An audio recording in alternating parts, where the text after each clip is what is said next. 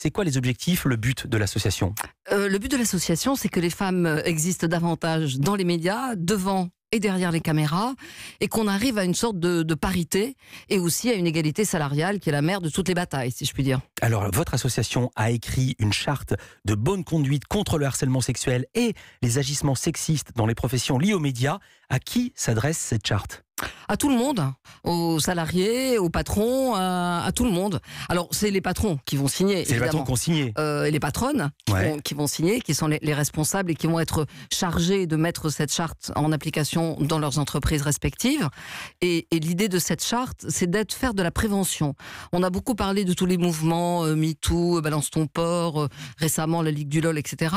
Et au fond, cette charte sur laquelle on travaille déjà depuis un an, elle arrive à point nommé parce que nous, notre démarche, c'est de dire on n'est pas là pour balancer, euh, pour dénoncer, mais on est là pour faire de la prévention. Et on accorde à nos camarades masculins le crédit de penser que parfois, ils se rendent pas compte que le, comment dire la camaraderie chahuteuse euh, peut parfois basculer dans le harcèlement.